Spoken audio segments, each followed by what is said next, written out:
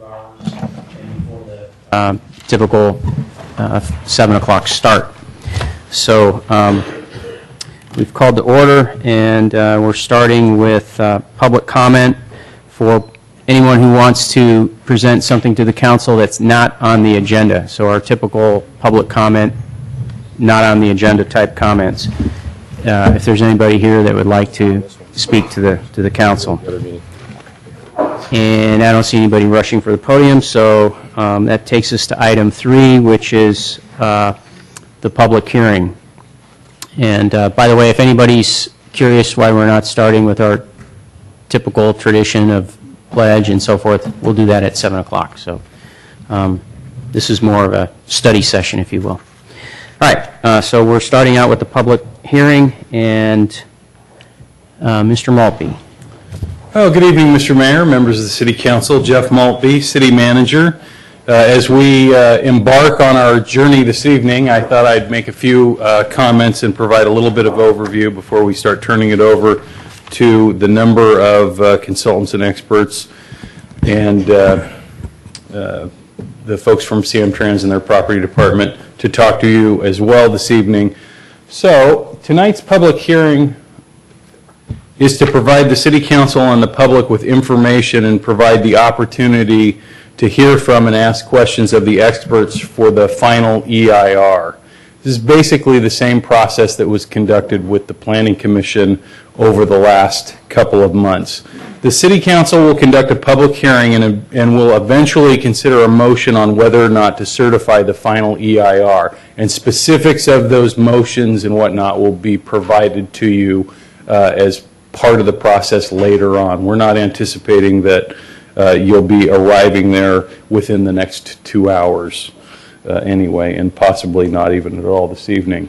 In addition, the City Council may also wish to consider a motion to give the project applicant further direction on the proposed project as part of a list of improvement measures which will guide the project later in the process as it goes through the entitlement phase, which is similar to what the Planning Commission did as they addressed the project.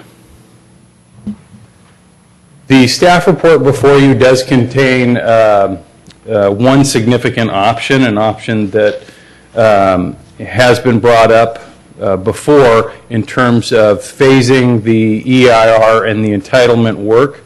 Uh, The project's been on a two-phase track since 2007 when the application was submitted to the city. Phase one is for the uh, uh, final uh, environmental impact review certification. The CEQA is a state law, which is a very complex uh, set of requirements that are often uh, different from a city's regulatory process and preferences regarding its own uh, built environment. Environmental impact reports include any number of specific and often complex reports and evaluations from experts ranging from traffic engineers to noise specialists to biologists and toxic professionals, uh, many of which you will hear from uh, this evening. Considering the, the EIR along with the design and permits for a project of this scale uh, can be very complicated, which why in 2007 uh, it was decided uh, along with the city council that this was going to be a two-phase EIR and then entitlement process, and that's where we are today. With the two-phase process, which is allowed under CEQA, the project entitlements uh, or actual design can be considered separately and, and given the necessary focus. Uh, In Phase One, the Planning Commission and the City Council are focusing their attention on the EIR uh, first, and then in Phase Two, the Planning Commission and the City Council will focus on the project design, which primarily will consider things like height and massing, architectural design, and other elements that, uh, that we actually hear a lot about uh, from the public, but aren't necessarily related uh, specifically to the, uh, the EIR process. The Planning Commission would hold public hearings on entitlements expected in the spring of 2013. The Planning Commission recommendation on certification of the uh, final environmental review document, which is before you this evening, uh, the PD uh, zoning, the, the plan development zoning, I should say, plan development plan and tentative map, if required, would return to the city council all next year.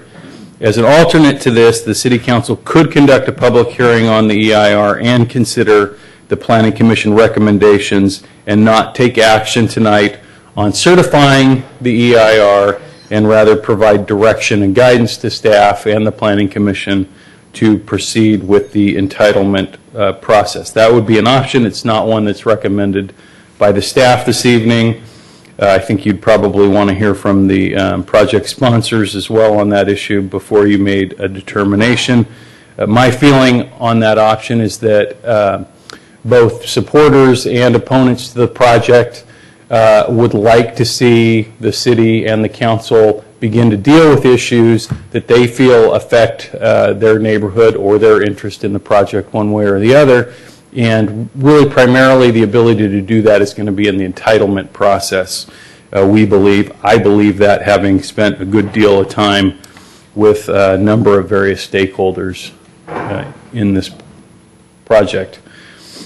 In terms of tonight's meeting, uh, the mechanics, the schedule from 5 to 7 will focus on technical presentations, and uh, should we finish the presentations, we'll begin with questions and answers from the city council of the folks that have been presenting to you. Uh, Later in the evening, following the start of the regular meeting and consideration of another item, the council may begin to take uh, public testimony. Once all your uh, questions are answered, we would open the public hearing. Uh, Tonight is the council's first public hearing on the final environmental impact report, and there may be more meetings, as many as the council uh, deems necessary before uh, the council uh, decides to take an action on the uh, environmental impact report. Following the public hearing, the council may wish to consider whether or not to consider the recommendation from the Planning Commission regarding certification of the EIR.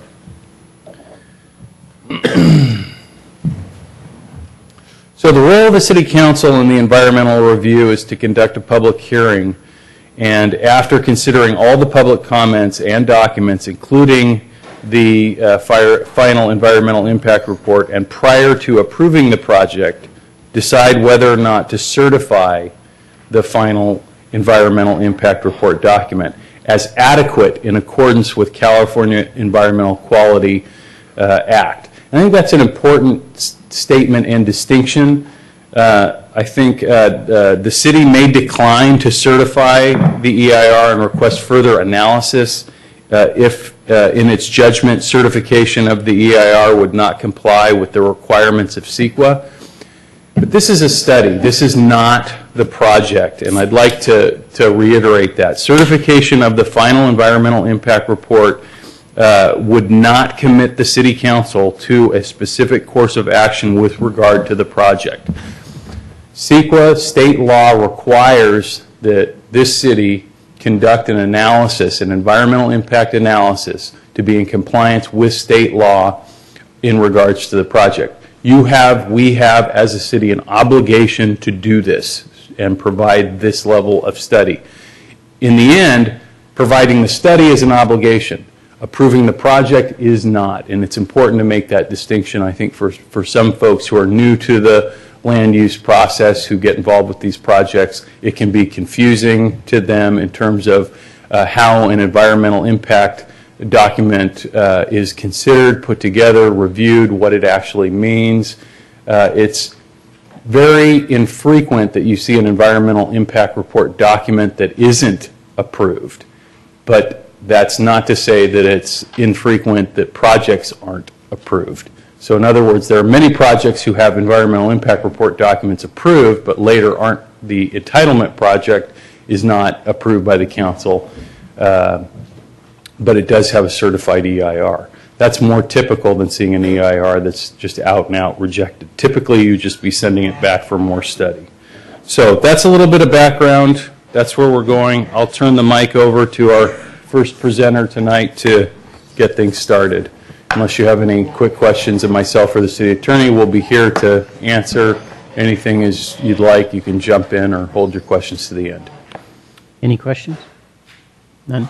Thank you. Thank you.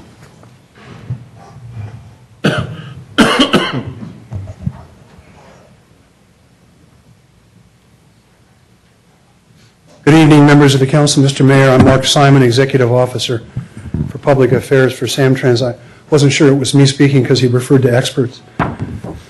Uh, In addition to me being here, we have a couple of key staff members here who can also answer quite a number of questions. Brian Fitzpatrick, who's the manager of our real estate program, and Seamus Murphy, who is in charge of uh, community relations and government affairs. Thank you for the opportunity to discuss this project uh, and explain uh, some of the reasons why Samtrans hired Legacy to pursue this project. Um, It is an important uh, transit-oriented development project, and Samtrans, as a matter of policy, is committed to transit-oriented development as a means of um, improving upon a community, providing an opportunity to do that, as a means of revenue for Samtrans, and as a demonstration of the value of transit-oriented development. Um, We estimate we will get somewhere slightly below a million dollars in revenue from this lease, should it go forward as it's currently constructed. Uh, Customers, people who are determined to adopt a lifestyle that is adjacent to transit, will find this an appealing project. It is an ideal location for transit-oriented development. It's next to a major transit station that receives robust train and bus service, and it is in walking distance to downtown San Carlos, one of the most vibrant suburban downtowns in the Bay Area. It is a true synergy and a true demonstration of what TOD can be, and if Samtrans doesn't de- demonstrate the value of this, then who will? We think an- we have an obligation to be a model for this kind of development. So as a matter of policy, that's why we engaged Legacy. Uh, We issued an RFP uh, some years ago. We got several bids, several proposals, and we selected Legacy because we found Legacy to be the most sensitive, uh, the most thoughtful about how to do this. They had the right um, understanding. It was, to be frank, not the biggest project that was proposed among all those that were. Uh, So we made a conscious decision to choose a project that we thought fit best, uh, and that came from Legacy. A number of questions have been asked about Old County Road, and I thought I might as well just address that issue head-on, and then I'm available for any other questions. Uh, We will seek to avoid any impact that this project or future Caltrain or high-speed rail projects have on Old County Road. To the extent that we can, we do not expect that there will be such a project, but we can't be certain any more than anybody else can about what kind of configuration uh, might be required for four tracks in this area, and whether or not four tracks might even be needed in this area. At our requirement, high-speed rail has prepared an aerial alternative that does not impact Old County Road. So it already has been demonstrated that this can be done. That's our intent. Uh, One of the requirements contained in the agreement with Legacy is that the project be built in such a manner is such a, so that there is room for, for the right-of-way to expand westward should it be necessary. The fact is, there is enough room within the right-of-way currently to accommodate four tracks. We were asked uh, at the Planning Commission, one of the questions they raised was whether or not it was possible, given our relative certainty on this issue, or we could somehow insure or bond against any future significant impact on an Old County Road. Uh, We asked both our legal counsel and our uh, insurance uh, broker to investigate this issue, Uh, and they did so thoroughly. Um, si- Simply put, it's not an insurable risk.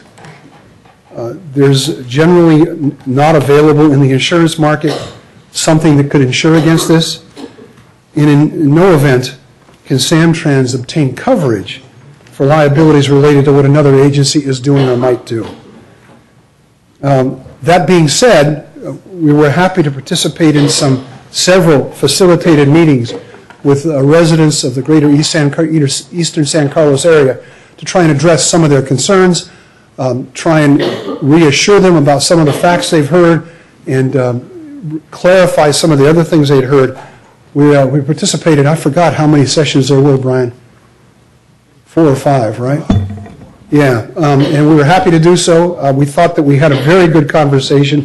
One of the things we discussed there and committed to doing is considering language in the regional MOU, the Memorandum of Understanding. There's a nine-agency MOU between the funding partners that that addresses the future of Caltrain electrification, modernization, and high-speed rail.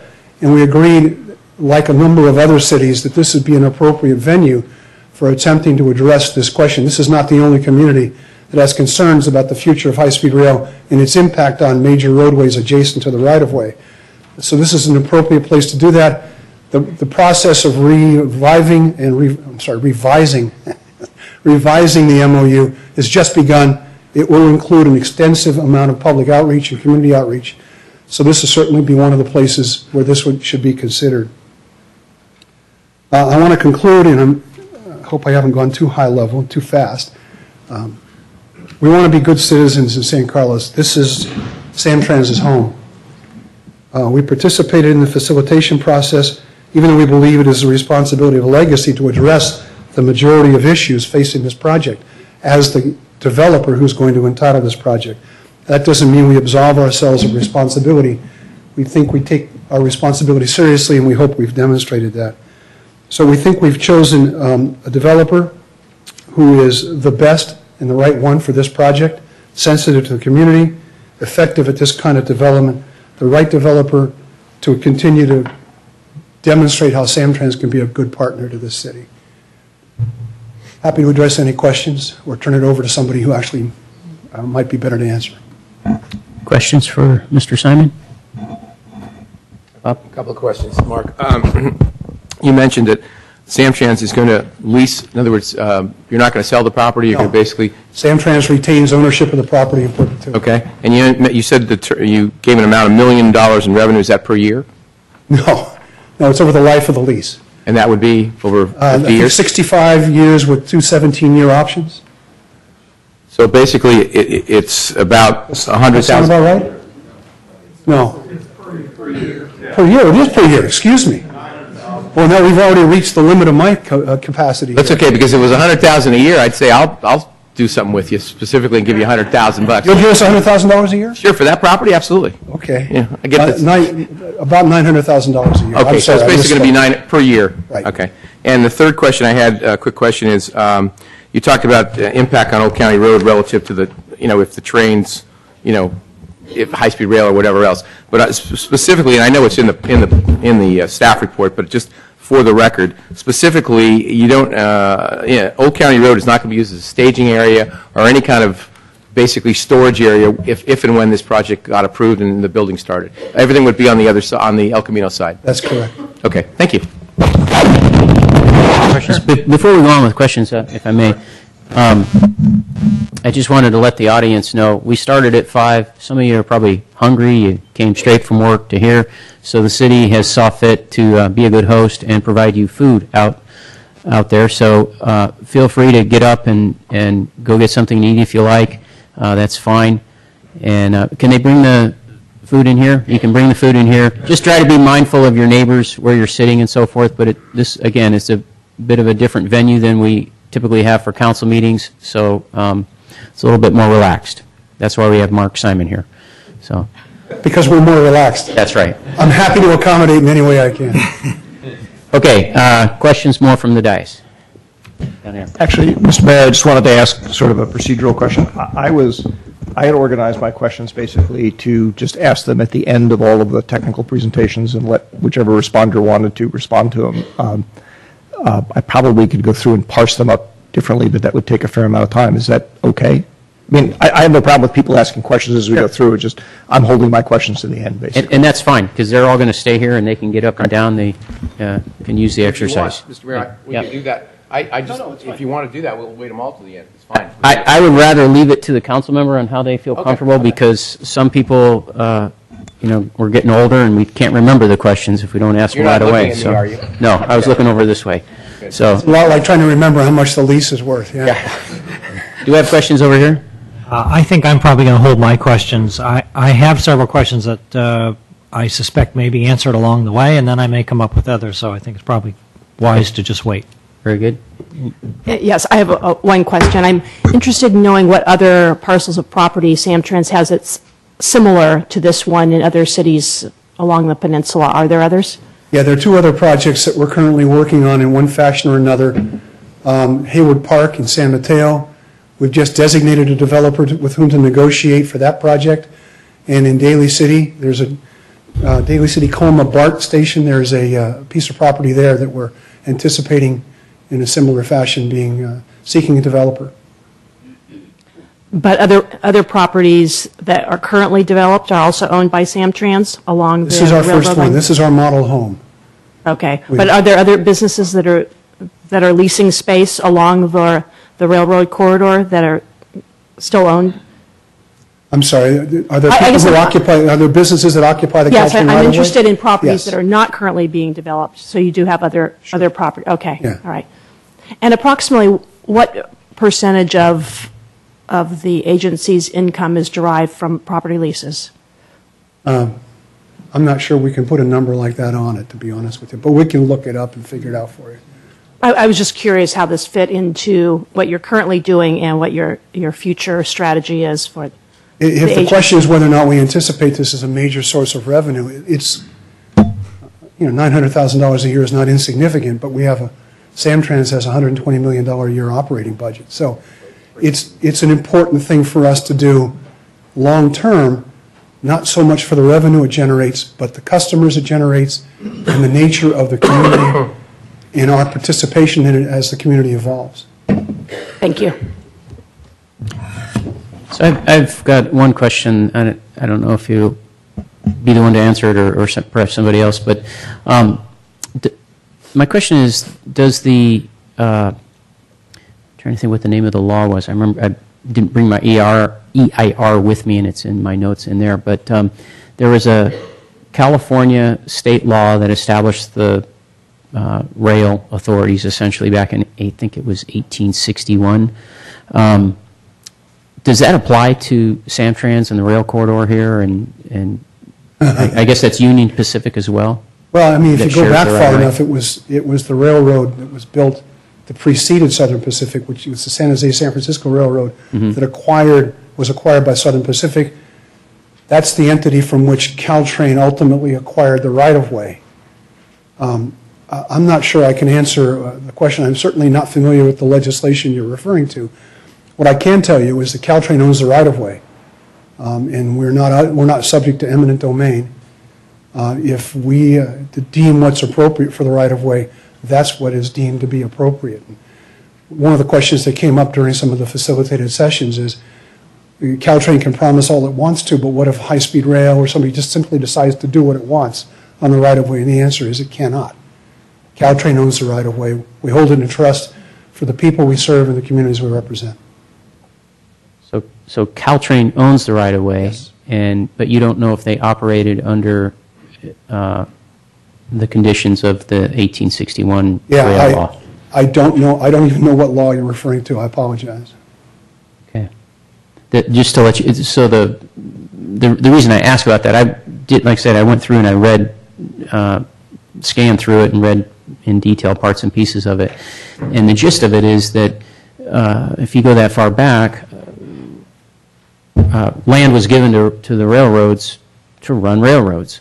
And it talks very specifically with, uh, shall-type language that you know, they, they shall put their rail bed in the center of this uh, property. That what was interesting to uh, in reading it is uh, most of the property given to the railroads was given to the railroads for their use. It's not an easement; it's their property. But it does have constrictions on it that it must be used for a, ra- a railroad, and the types of buildings that would be required to run a railroad, including a yard, including depots and, and, and such. Um, and that seemed to be, when you read through it, that's the first and foremost priority. And the reason I bring it up and what I, why I'm curious about it is because of this issue with uh, if high-speed rail does come through and uh, does need more land, and then the concern of the east side regarding Old County Road and, and things impinging Old County Road or even closing Old County Road, and yet we can't give any assurances that that won't happen. I hear what you're saying, that that's the intent, but when you look at the California rail law uh, as it was originally written, like I said, everything was written as the rail shall stay in this, on these properties and not uh, go anywhere else unless cities want to sell pieces of parcels to create intersections or, or uh, fly, uh, flyaway tracks or, or such. Um, so it's just, that's why I ask it, because I'm curious about that. Uh, You've read more about rail law than I have, certainly. I, Yeah. the the only part of this I can respond to, I suppose, is that I can state unequivocally that the proposal that we're uh, we're here sponsoring is fully in accord with all current railroad regulations. Okay, all right, thank you, Mark. Right.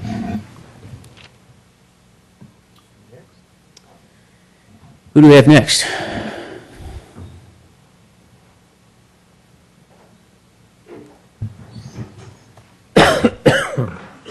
Commissioners and Mayor Excuse me, your name again? Uh, Sherry Scott with Christiani Johnson Architects. And so what I'd like to do is um, give you a brief kind of overview of the architectural aspects of the project. Um, I think my role in the architecture will have more weight when we get to the entitlement phase, phase two. Um, so the intent of this presentation is to um, show the architecture of the project that was studied as part of the EIR, so you have the background um, as the project was originally designed.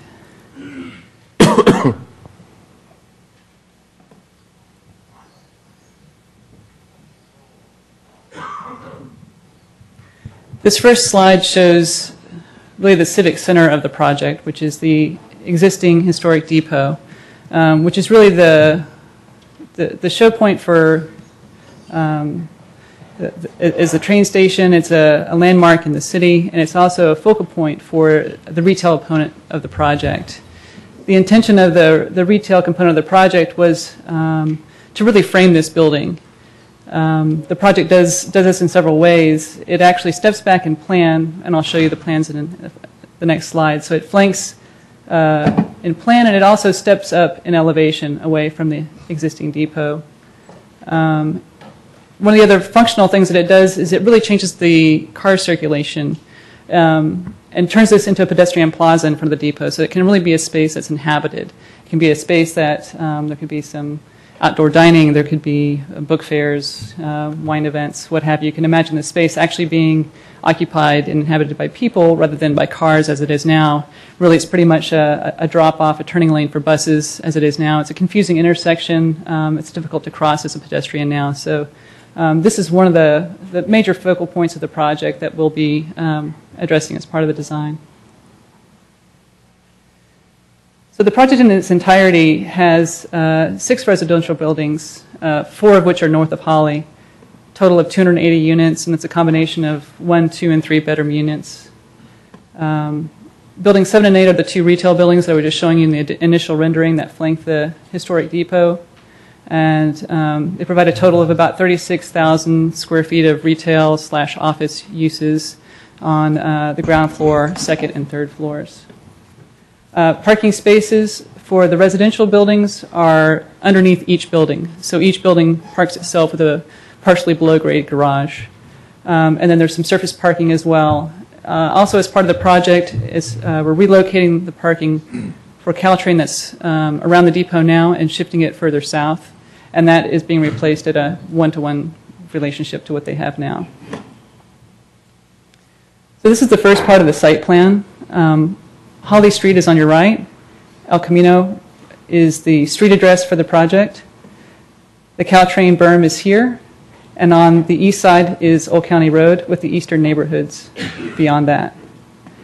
Um, The intention in organizing this project was, um, it- it's a long linear site, is to break this down into smaller buildings, smaller spaces that are um, a better pedestrian scale for El Camino Real.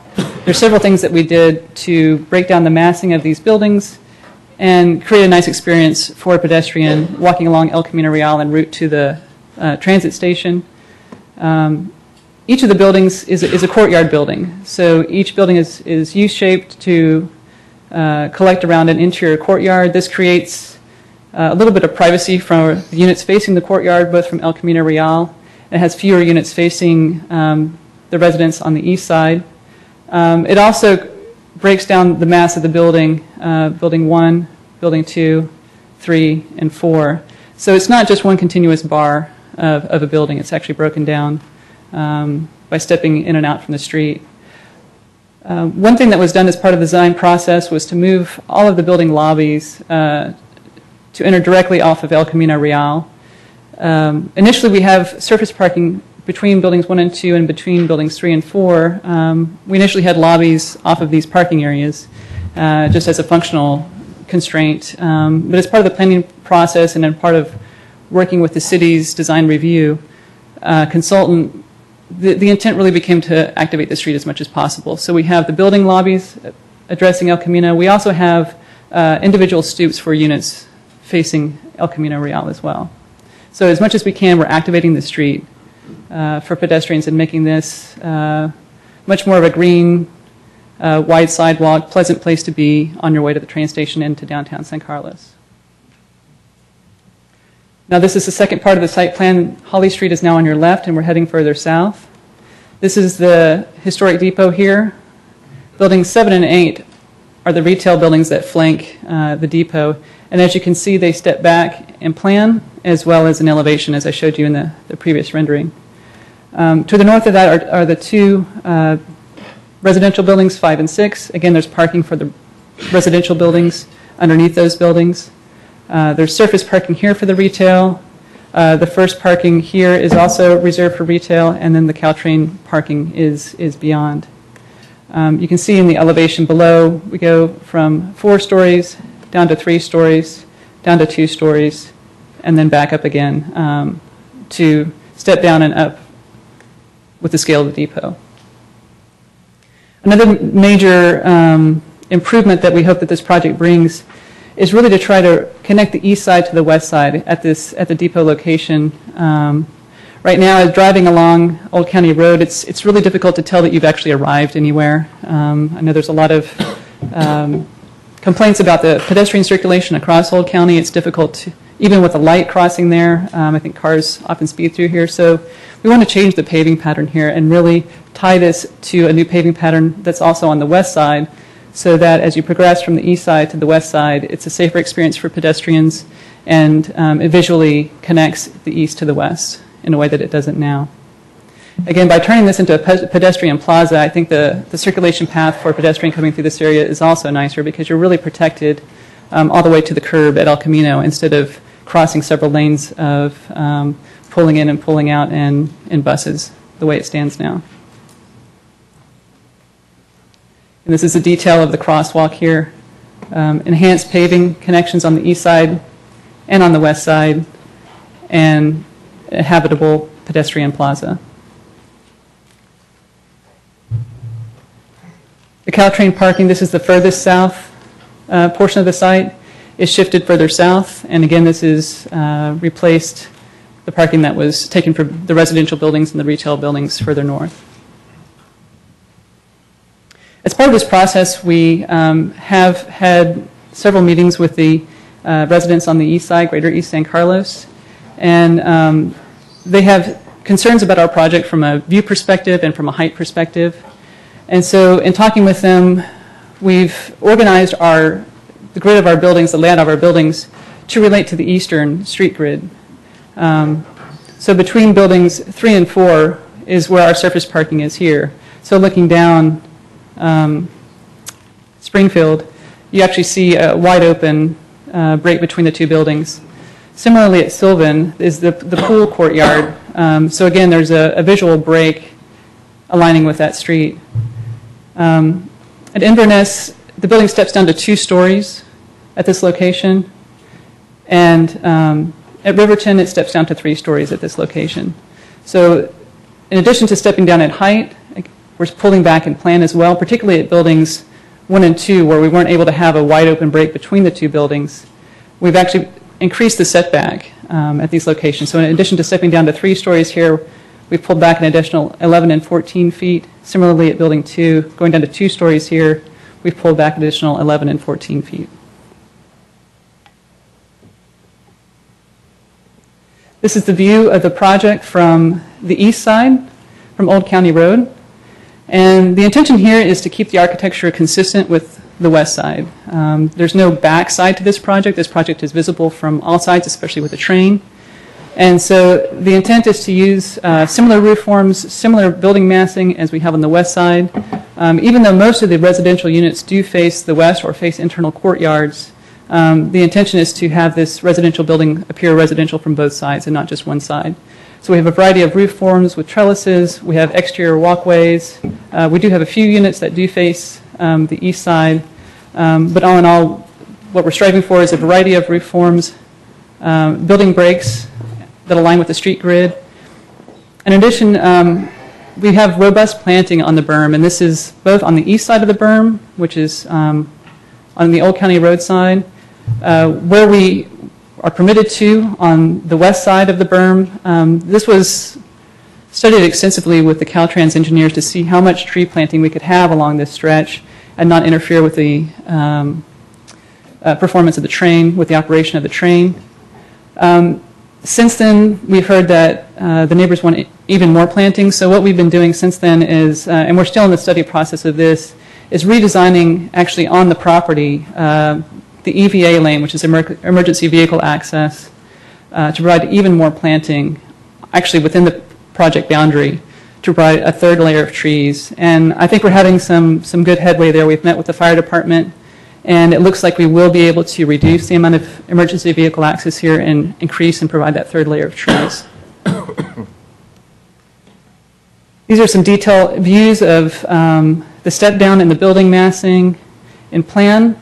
This is the 11 and 14 foot setback here, in addition to the regular setback that we have for the rest of the building, and also stepping down to three stories at Riverton. Similar at Inverness, we're stepping down to two stories, and also in plan, stepping back an additional 11 and 14 feet um, at this location. These are the building breaks at Sylvan and Springfield, again, with the- pool courtyard and the surface parking. um, We have a break from ground to sky in those areas. This is a rendering of the architectural treatment from El Camino Real. Again, this is, the intention is to have um, a really engaging, active street frontage for pedestrians. Uh, The building frontage steps front and back. Um, There's individual stoops as well as building lobbies that face El Camino. Uh, There's two driveway entrances for surface parking for the residents. And there's uh, street tree planting here that's part of the uh, Grand Boulevard Initiative. Uh, So the idea would be that there's um, street trees, there's also a green buffer between the back of walk and the buildings that varies in depth. At some points, it's uh, a few feet of green planting behind the walk, and at some points, it expands to actually be what we were calling a a small pocket pocket park, where there'd actually be a bench or uh, a seating area open to the public that someone could pause on their way uh, walking along El Camino Real. This is the berm on Old County Road, uh, showing some increased planning. Again, this is um, similar roof forms that we have on the, the west side of the project. You can see the building hip roof stepping down, uh, as well as stepping back in plan. And this is the um, step down uh, just two stories at Inverness here. And this is the break between buildings one and two. Again, this is the retail plaza. Uh, Really want to create a center for uh, the depot, create a destination and not just a place to drive through and, and drop people off. It's a sea of asphalt. Um, again, engaging the pedestrian, connecting the, east and west side. This is really going to be, I think, the civic focal point uh, for the project.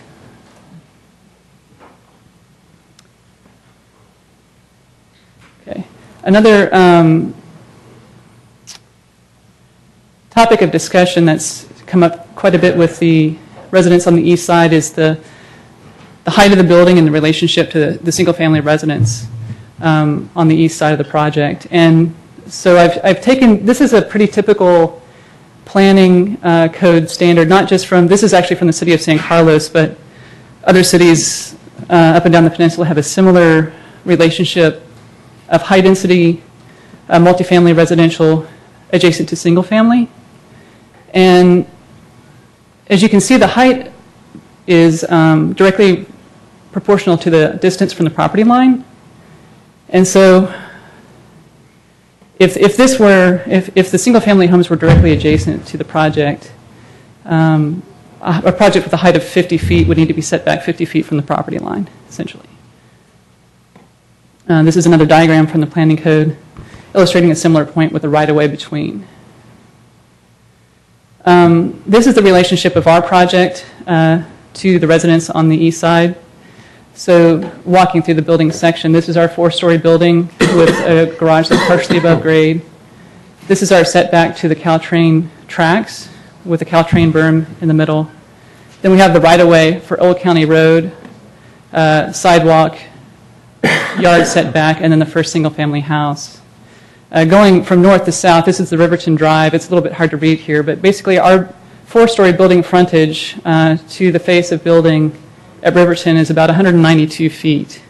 Uh, Just to give perspective of uh, the height of the building at plus or minus 48 feet versus the distance of 192 feet. Similarly, uh, Inverness, a similar relationship. It's, the setback actually reduces slightly. I think it's like 189 feet at this location, 176 feet at Sylvan, 175 feet at Springfield. Um, So that's the basic relationship of the height of the project as it relates to the single-family residences.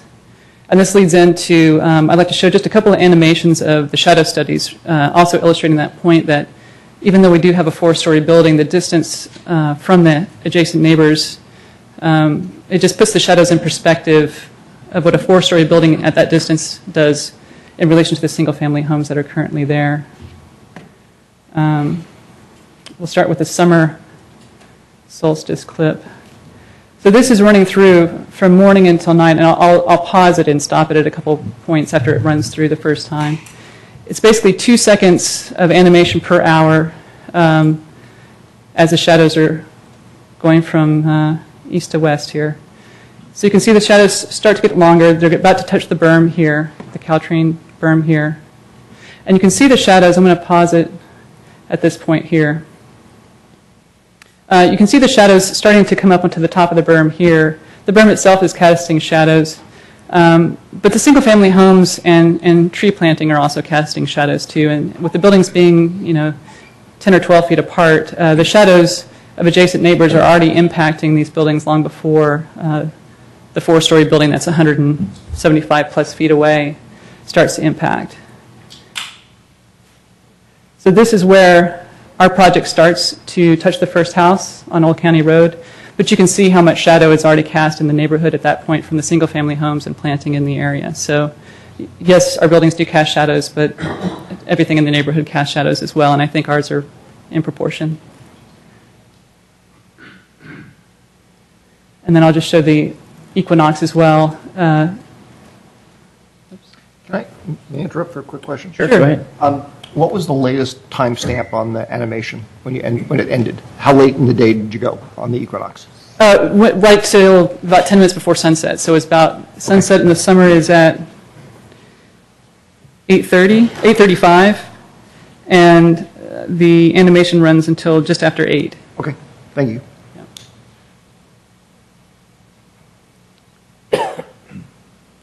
Again, I'll run this, uh, I'll pause this when the shadows start to touch the first house at Old County Road. This is the equinox rendering here. Sunset at the equinox is at 7:06. And- So this is 24, of 25 seconds. So this is about an hour before sunset. So this is about 6 o'clock. And this is when the first shadows are starting to touch the first houses along Old County Road.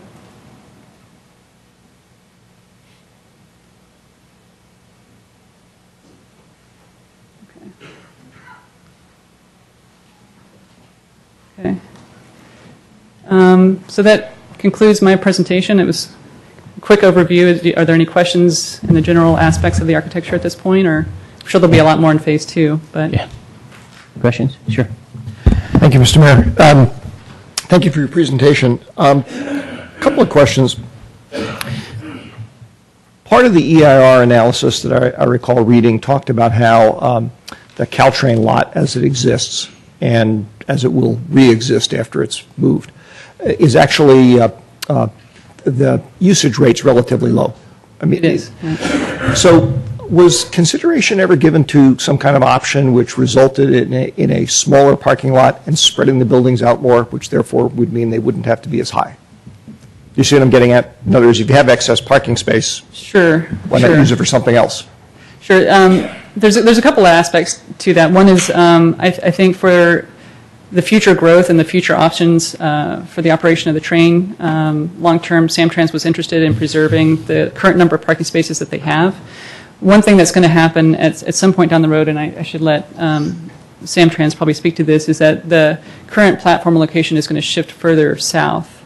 And I don't know what the timeline for that is, but I think the idea is to leave that southern portion of the site open for options that they have uh, as part of their management plan down the road. I'm not surprised to- to hear that. I guess I'll just mention in passing that I will have a question later on about uh, whether or not that indicates a higher level of use of the rail corridor than perhaps was contemplated in the EIR. In other words, if- if one is anticipating needing more parking spaces, that's because one is expecting to have bigger or more frequent trains. Um, The other question I had uh, related to that is, was a possibility of well, let me describe it this way. Uh, Starting the project as far south as you could, basically inverting it and, and building towards the north and putting things like the parking lot on the north end, okay? Because uh, the further south you go along El Camino and San Carlos, across the berm, it's increasingly industrial and commercial and not impacting residences as much. That's true. Um, I'm just going to pull up the overall site plan so we can kind of point here. Um, The other aspect of the site, it it does get more commercial as you go further south, but the other thing that happens is the site gets more and more narrow as you go further south. You can see that the the width of the site at at the southernmost end is is quite different than at the northernmost end.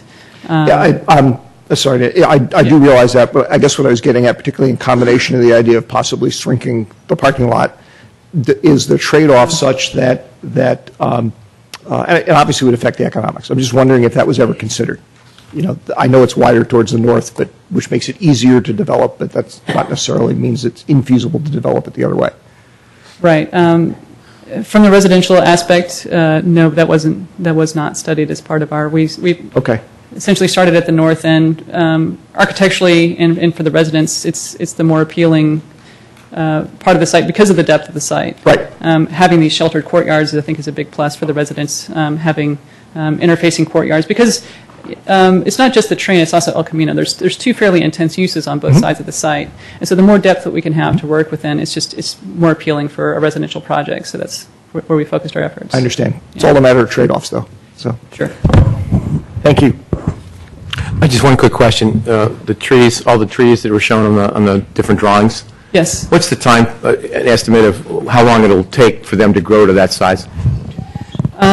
I think the, I'm not a landscape architect, but I believe the direction that they were given was uh, 10 years. Okay, thank you. Yes. Yeah, I just have one question. When you were doing the- No, they're the not the gonna- shadowing um, model, um, does that assume that the, that the buildings, that the, h- most of the height of the buildings has been pushed toward El Camino, or does that just assume a uniform height?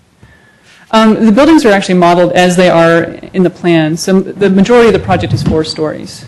Um, The the areas where it steps down are uh, three stories at this notch in line with Riverton and two stories at the notch aligned um, with Inverness. And, um, but the majority of the project is four stories. And so the buildings that you saw in that model were actually these buildings modeled at at the heights that they're shown. So if, so if it's four stories at El Camino, it's four stories 40 feet back? Correct. Okay. All right. Thank you. Karen? Do you have any questions for? Any questions right now? Okay, I I have a few, so if you uh, hold up there. Um, The pedestrian crossing Holly, going towards the depot from the primary four buildings of residential, uh, where does that happen? Do they, are they expected to somehow cross over Old County and then go down Old County and come back? Or is the idea that they will go down El Camino and somehow cross Holly Street at El Camino? Uh, What's, For the, what's the uh, plan? for the new residents, Yeah, you've got, I don't know, uh, you've got, you said 280 residential units for those. They would be crossing Holly at El Camino here. So they would be, um, the the building entrances are all at El Camino, so they would Okay. walk along El Camino, cross Holly at El Camino, and then on to, um, onto the depot. And so, um, it- now, if they're doing that, is there any, y- y- there's anticipation for some kind of change or improvement to that intersection to allow that to happen? Yes, yes, there is, um, and I don't have... Can you show us that? Let me see, I don't know that I have that slide. I don't think I have the civil drawings. Um, Let me see. I have a printed version of the civil drawings. I don't have it, I don't have it on my slide, I'm sorry, but I can, I can get that to you. Okay. Um, And I guess you've already said, so the parking location versus the train platform, you're not sure about that because that's somebody else, that, that's That's a separate, that's a separate project, but Separate it would be project. shifting further south. My understanding is at some point in the future, the platform would be shifting further south.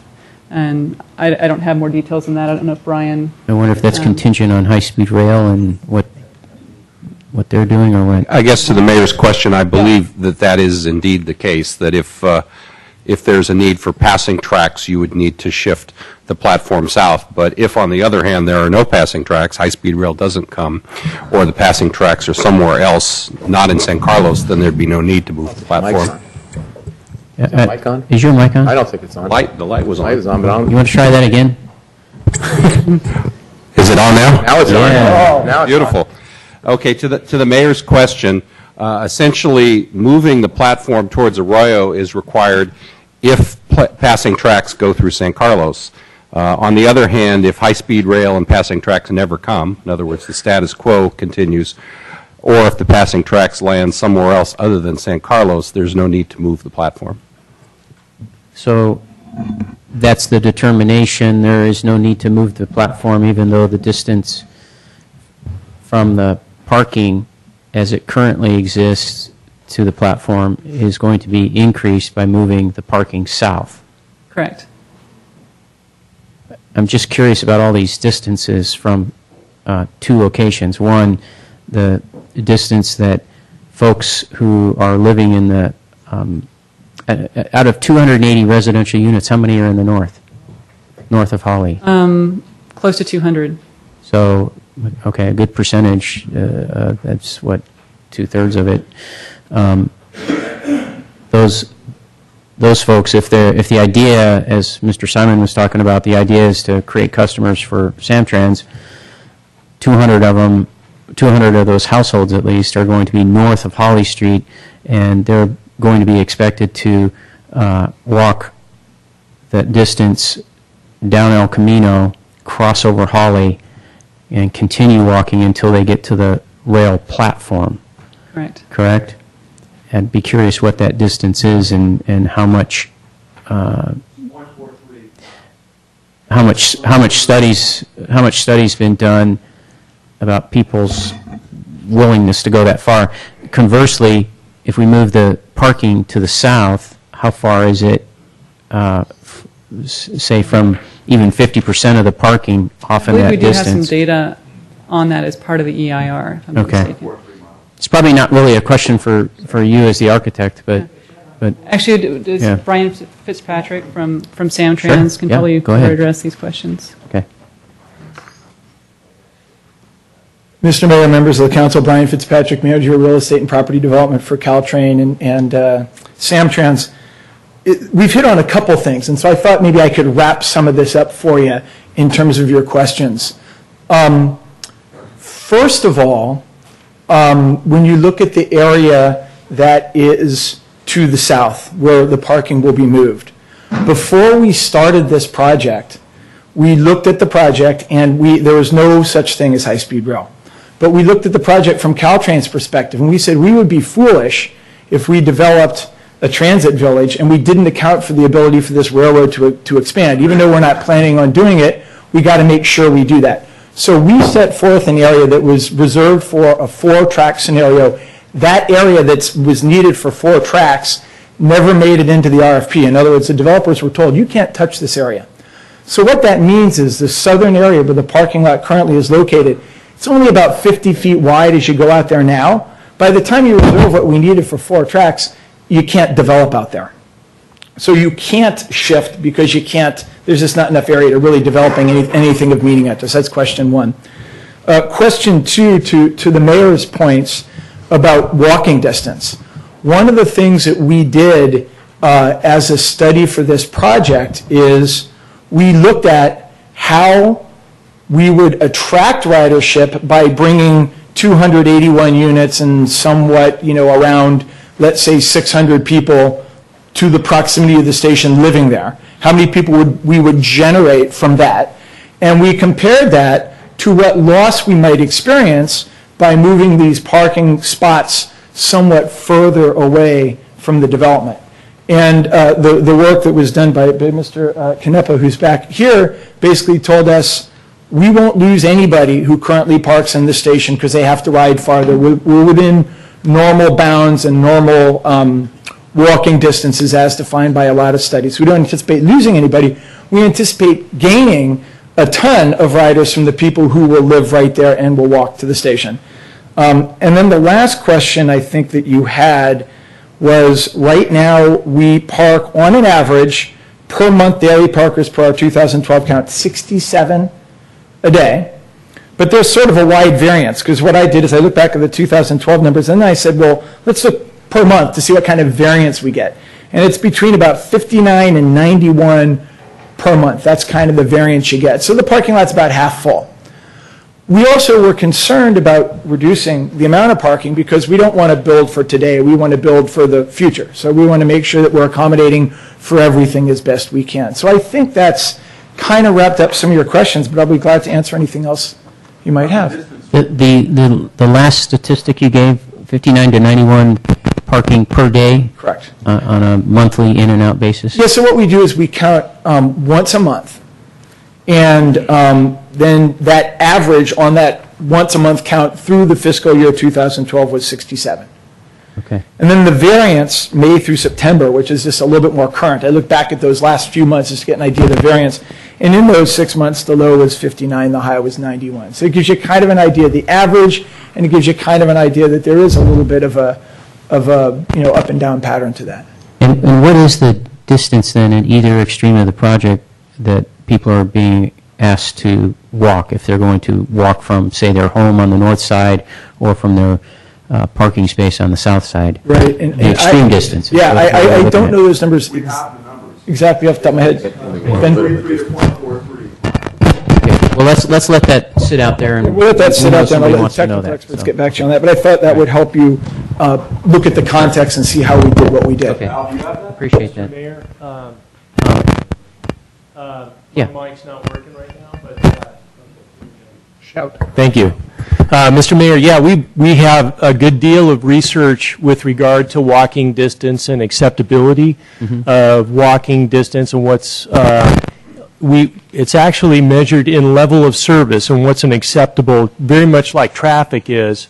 Um, It's, you know, you have a a good level of service, level of service A or, or, or worse. And so we've done a good deal of analysis, and we do have all the distances um, with regard to the parking areas um, that we can share with the city council, if you'd like us to do that now. Um, Also, as part of the presentation, we have uh, the parking consultant that will be giving a presentation, and he can Okay. talk about the distances Okay, as well. Let's do that then, then, that's good. Um, And and I think some, this other question I have will probably come up later too with traffic and circulation, but I, from the architect's presentation, it just made me jot down a question here about the impact of uh, the southern transfer of the Samtrans parking uh, to El Camino intersections at Cherry, and I'm trying to think what the other one is. What's the intersection just further, the next block down from Cherry is? Arroyo? Arroyo? Or that's Olive? Olive. Olive and then Olive, Arroyo, yeah, that's right. Okay. So I guess those will come up later. Let me just check my notes, see what else I have here. Um, Oh, regarding the landscaping, uh, the Vice Mayor was asking about the maturity of the trees as depicted, but I was, uh, which I thought was a good question, and my question was um, regarding those trees and the landscaping show on the berm, is, is that going to be owned by the project, or will it be owned by whom, and who will be in charge of maintaining it and so forth? Well, we can talk about the current ownership. Um, Currently, the trees on the berm and the landscaping on on the berm is uh, maintained by Samtrans, and the flat areas are maintained by the city of San Carlos. The flat areas? So they would, the- yeah, anything below the foot of the berm out toward El Camino Real. Okay, I'm thinking, I'm, I'm sorry, Mr. Savay, I'm talking about, um, I wasn't clear, uh, on the Old County side, because uh, a lot of the depictions that the architect showed was of this improved landscaping And so the question came to my mind, if, if the improved landscaping's put in, um, it's great that it's there, who's going to maintain it and take care of it and be responsible for it? And the expectation that staff has had uh, through the process is that it would continue to be maintained by Samtrans. Okay. All right. Thanks. Those are my questions. Next presenter?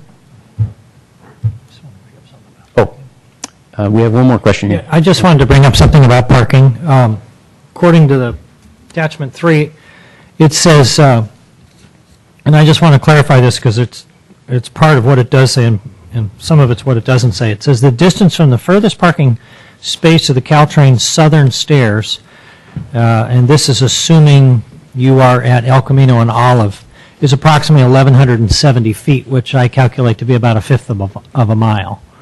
And, but then further in the next paragraph, it says, um, uh, the distance from, I assume this is Arroyo pedestrian undercrossing, is 1,260 feet to the southern stairs, so that's a quarter of a mile. What I, what I don't see in here, maybe I, maybe I missed it, is uh, the distance from the f- northernmost building, which is, would be at, what, Oak Street there? To the, probably the northern stairs, I assume.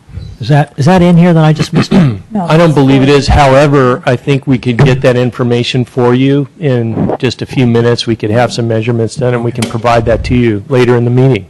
Okay, thank you. Very good. Okay, who's up next?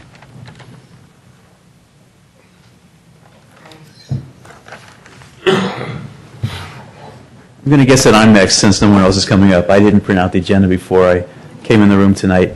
Um, My name is Michael Kay. I am a project manager for Atkins. We were hired by the city to provide the uh, CEQA documentation for the proposed project. And I am going to do my best to get started with this presentation. Thank you. Um, So, Mr. Mayor, members of the council, as I said, my name is Michael Kay. Um, What I want to do is just give a real brief overview of the CEQA process and then give a brief um, overview of some of the impacts that uh, we determined uh, through the CEQA process might uh, result from the post-project and try to uh, emphasize the issues that are of most concern to the community. Um, I also have Chris Shields here. He's going to give a separate presentation on the noise analysis, and uh, Gary Black from Hexagon Transportation uh, is going to give a presentation on the transportation impacts of the project. So,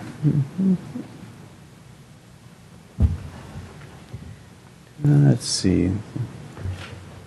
So what are the purposes of CEQA? Um, basically, and it was discussed a little earlier when the meeting started, CEQA is a tool to provide decision makers and the public with a document that looks at the uh, potential physical impacts of a proposed project. Um, It identifies ways environmental damages can be avoided or reduced through uh, changes in the project description or mitigation measures. And it also discloses the reasons why a project might be approved and regardless of whether or not significant environmental impacts would result from the project.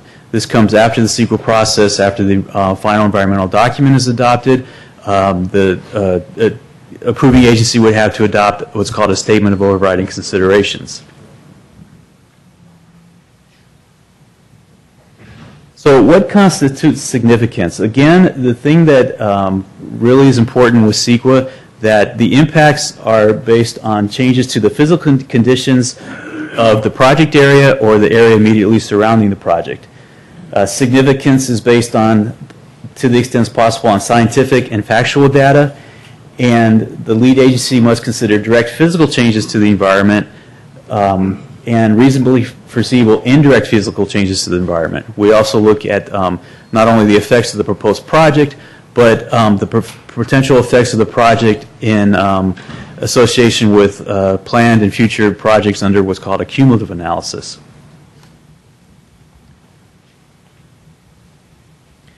So how is significance determined? Um, The main thresholds that we use when determining the significance of a project are in the CEQA guidelines, Appendix G of the state CEQA guidelines, which were adopted by the state of California back when um, the CEQA regulations were first passed.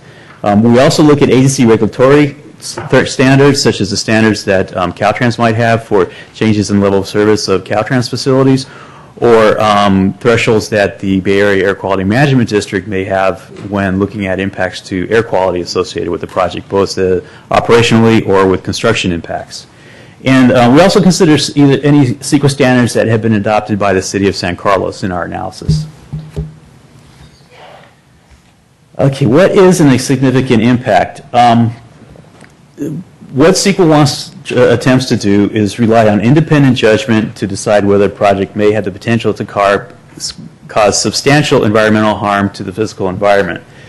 Um, many times there'll be disagreement among experts. Um, we have a number of technical support to uh, the conclusions in the environmental document.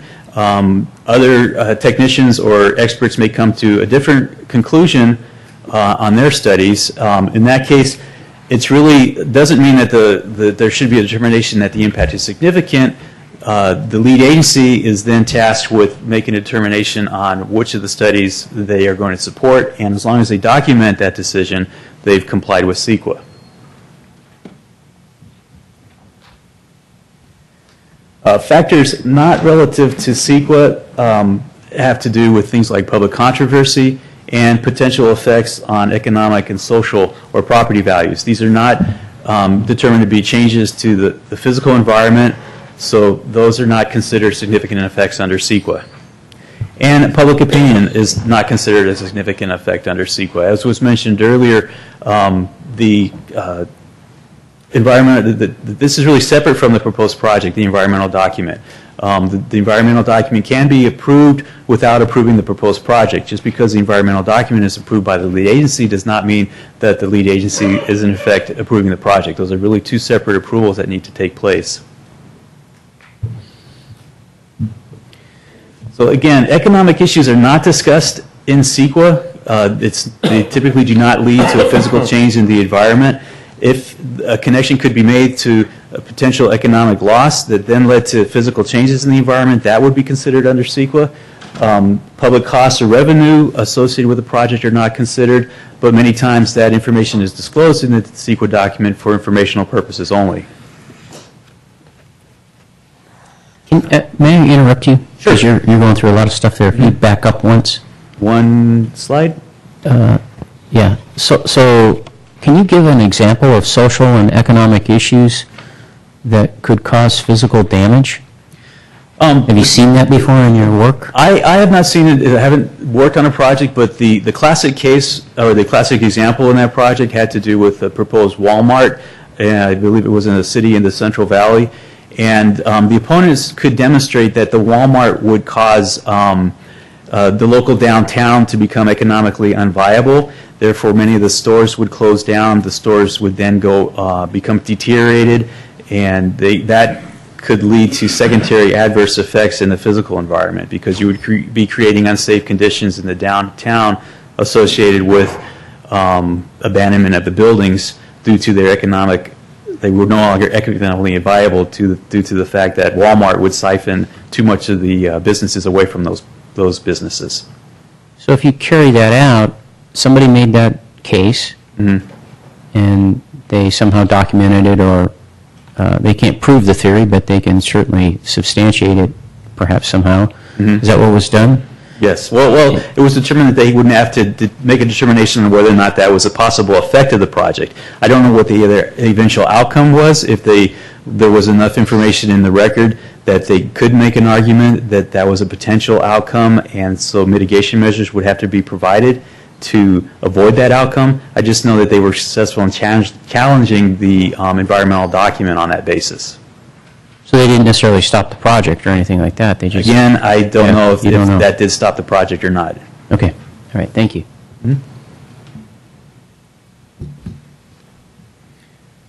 Um, So the- the the finally, I- I- the the project has, um, we've been doing the environmental documentation for a number of years now.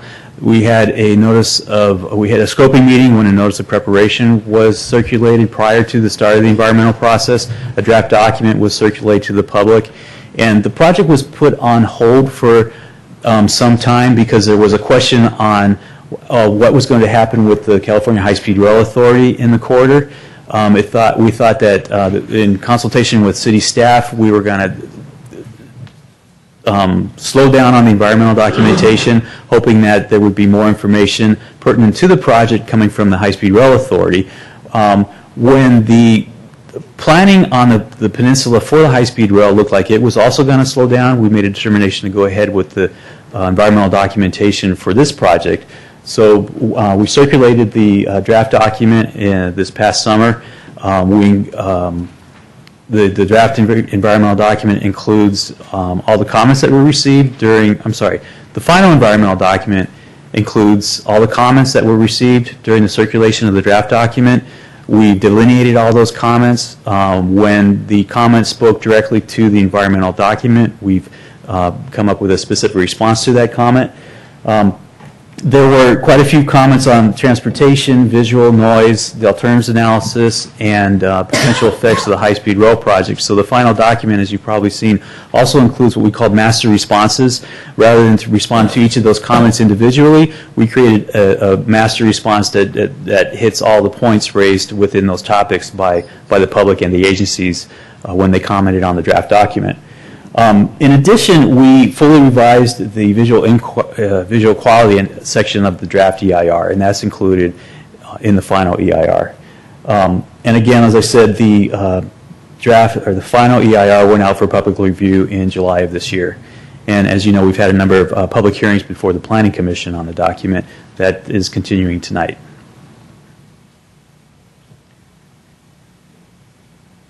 Um, And again, I just want to give a brief overview of some of the topics, some of the topics that were of major concern um, to the public and the community.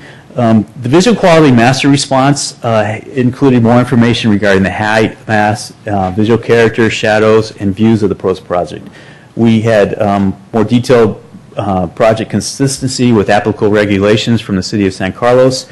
We also included some additional visual and shadow simulations, but um, with that information, that we did not have a change in the conclusion of the draft ER. The, um, the, the final environmental document and the draft EIR determined that uh, visual impacts, while there may be some visual impacts associated with the project, none of those rose to a level of significance that would then require mitigation measures. And I, I should step back, and when we did do an additional visual and shadow simulations, however, um, shadow impacts are not uh, deemed a physical change in the environment under CEQA. So that was information included in the environmental document for um, informational purposes only. Um, We did include some figures, and I've got the figures in my uh, presentation here, but the figures are are not as um, well prepared as the ones you saw previously from the architect, so I am going to include those in this presentation, but as when we get to those, I'll explain the differences between our figures and the ones presented by the architect. Um, Before I leave this slide, the, like I said, the um, uh, shadow, increase in shadow is not um, considered a significant under, impact under CEQA. However, there have been some jurisdictions in California, such as San Francisco, that has determined that they, they want to consider um, the potential impacts of shadow. But in San Francisco, I believe that, that mainly has to do with whether um, shadow is going to be cast on um, public parklands with the proposed project. And um, they have regulations regarding uh, uh, um, uh, the percent shadow that could fall on a public resource such as a park. Um, These are also from the uh, draft document and the uh, final EIR. It's Just a couple of visual simulations from, the- for the proposed project. Um, In each of these uh, subsequent slides, the top is the existing condition, and the lower um, photograph or simulation is is with the proposed project. Um, Under the CEQA standards, uh, what is considered impacts under visual uh, effects really have to do with the massing and height of a proposed project.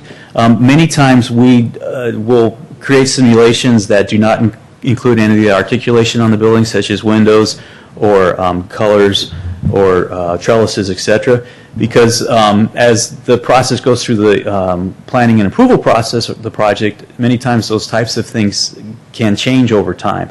So really what we're looking at is um, the, the height of the building is consistent with what's being proposed, and the massing of the building is consistent with what we proposed. So this creates an outside envelope against which we can uh, examine the visual impacts of the proposed project. Again, this is um, looking from um, Old County Road facing west at approximately Sylvan Road. The top is the existing condition, and the bottom is with the proposed project. Another shot looking at Old County Road from Riverton Road. And again, if I'm going through too, uh, too quickly through these, uh, please let me know and I can slow down. Um, This is uh, simulation looking from Laureola Park facing west. Um, You can see the proposed project in, in this area.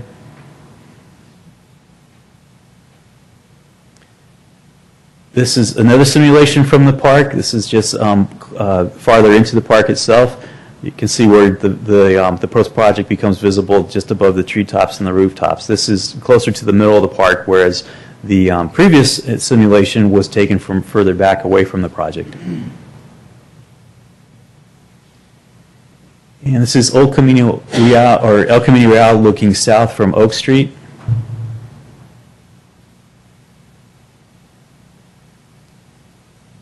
And at Holly Street looking northwest.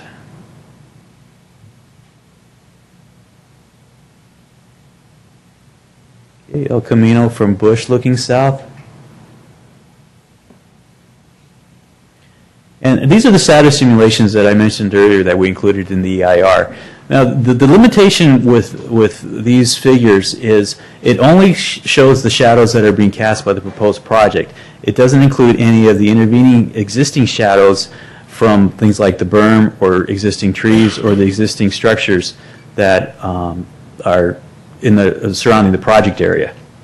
Um, we looked at a number of different hours, um, starting from uh, 10 a.m. through noon and then down to 5 p.m. Um, these are the, the shadows that would be cast by the project at the winter solstice. You can see from um, 4 p.m. to 5 p.m. The, the, there are no shadows because at, at, the winter solstice the, the, the sun sets um, probably around 4:30. Um, at the equinox, you can see that um, the, the shadows don't quite reach across the street by 5 p.m. Um, obviously, in the summertime or in the uh, morning, the sun is on the other side of the, the proposed project, so there wouldn't be any shadows cast on the residential neighborhood. At the summer solstice, the um, sun is much higher in the sky, so the shadows that are cast at 5 p.m. are, are shorter than they would have been at the spring um, equinox. And we're back at the autumn equinox. So this is very similar to what would occur at the spring equinox. We were also asked to provide additional information for the shadows that would be cast at the summer solstice. So this is what um, was in the previous slide.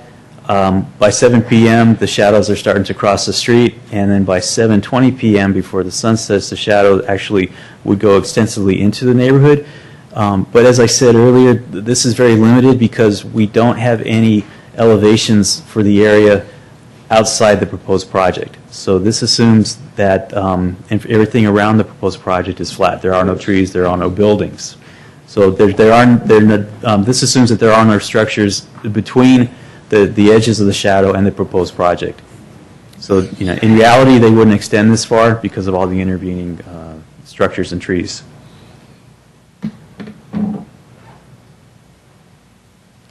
So the high-speed train cumulative analysis, um, as I mentioned earlier, we put the project on hold because we were hoping we'd have more information about the high-speed train project against which we could evaluate our cumulative condition.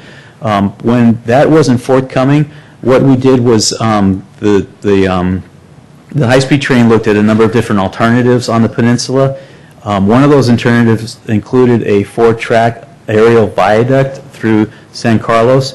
Uh, we decided that that would represent the worst case scenario, so that was the alternative that we chose to look at in our cumulative analysis. Um, and again, this was done as part of the um, master response to the comments received on the draft. And it, when we looked at the worst case scenario, it did not result in any changes in the conclusions in the draft document as far as the cumulative analysis.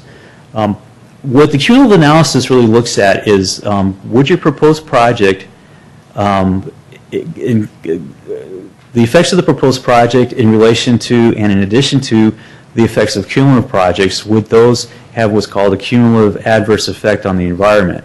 And if so, would the proposed project be cumulatively considerable? That is, is the contribution from the project enough, the, the contribution from the proposed project to the cumulative impact, would that be enough such that the proposed project itself would be required to provide mitigation? In the case with the high-speed rail project, um, the major adverse effects of a high-speed train, looking at the worst-case scenario with a four-track aerial viaduct, um, those impacts would far outweigh the impacts associated with the proposed project. Therefore, while there were some aspects where the project would contribute to the cumulative impact, it was never deemed to be cons- cumulatively considerable. So, in a sense, what we're saying is that the adverse effects of the high-speed rail project will be evaluated uh, in the environmental document for the high-speed rail project because uh, our contribution to the cumulative impacts is not severe enough that we have to develop mitigation measures for our project alone. All the, all the impacts of the high-speed rail project will be, and, and mitigation measures will be borne by the high-speed rail project, not our project.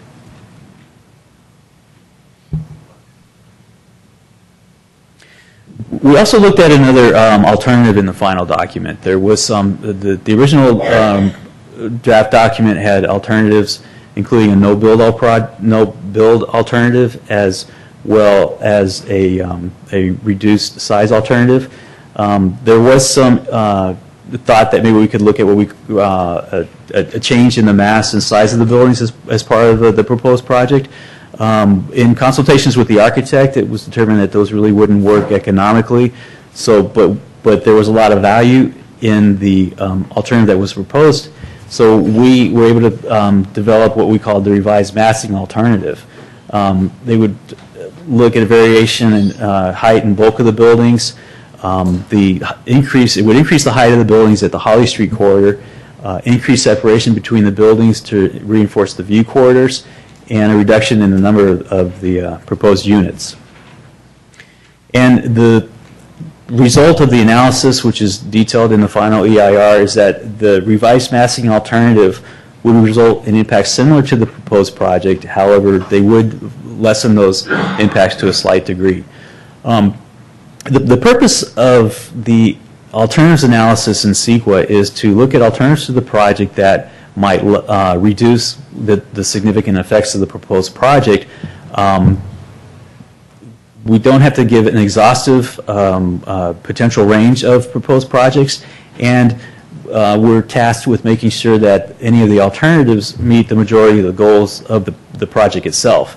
For example, if the goals of the project include we want to have a um, transit-oriented development at the Caltrain site, an alternative to the project is, is not to build single-family homes some distance from the proposed project, because that wouldn't meet the objectives or the goals of the proposed project. So in, in the case of this project, um, we were, really were limited to the, um, the location of, of the proposed project when we looked at alternatives, because otherwise we couldn't meet that goal that this is going to be transit-oriented development.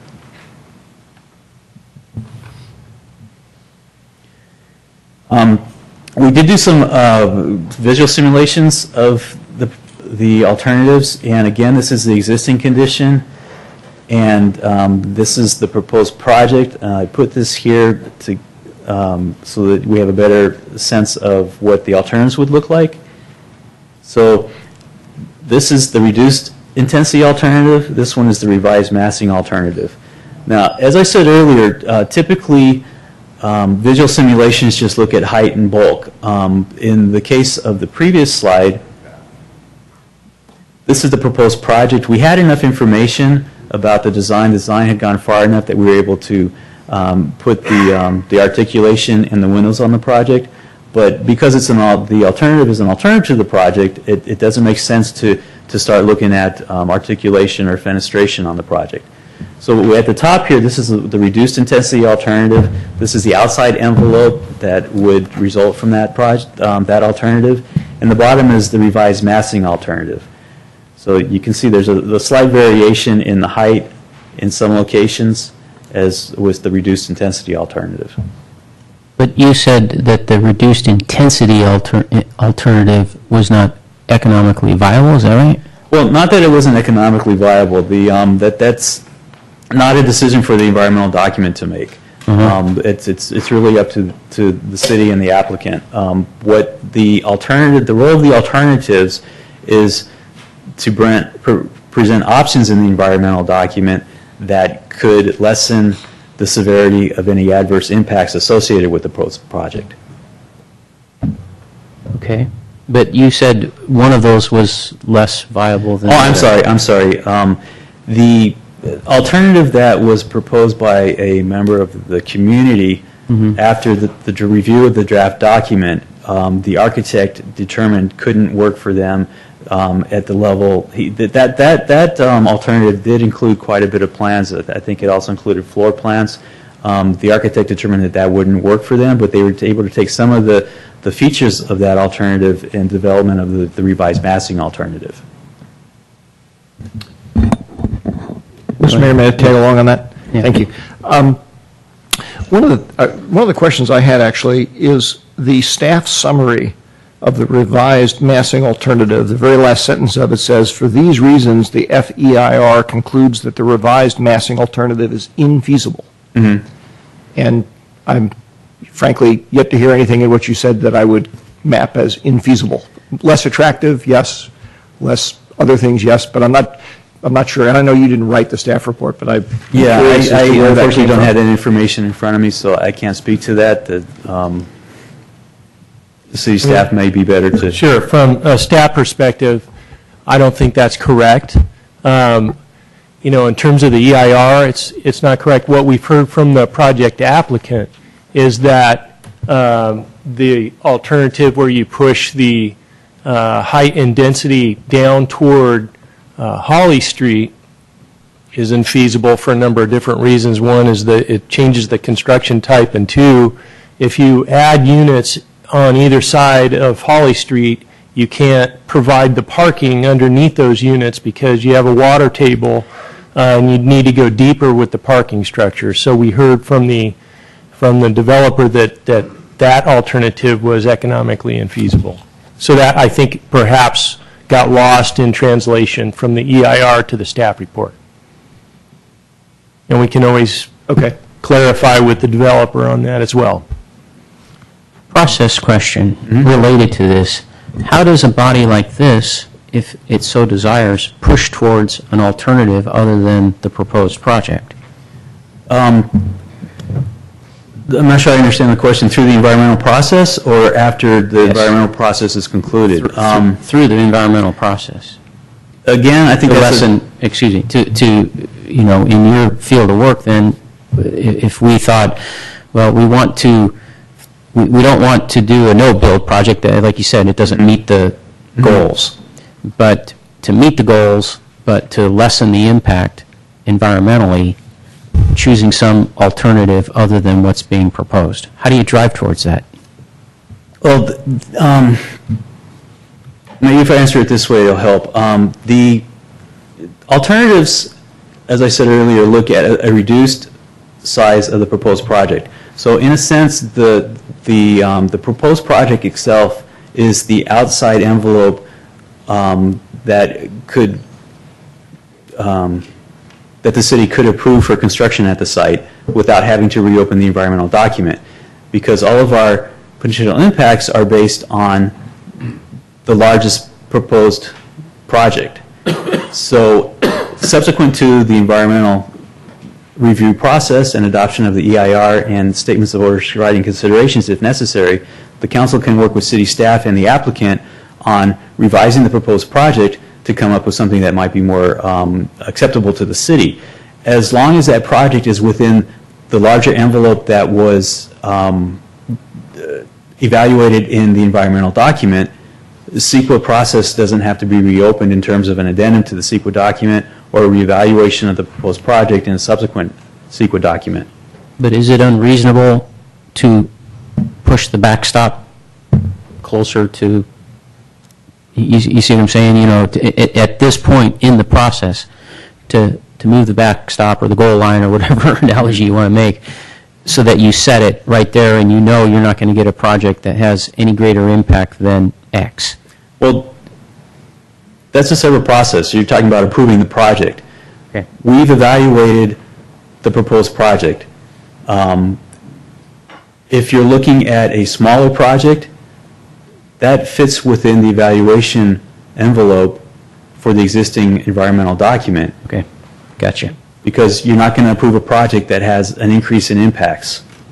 So that, that's a project approval, not environmental documentation. Okay, understood. Okay? I think there are a few more simulations. Okay, this is from Old County Road facing west. Again, this is existing condition. This is the proposed project. And this is the reduced intensity alternative, the revised massing alternative. So you can see here where, you know, this has been set back. It's, it's, it's it's shorter than, than the proposed project.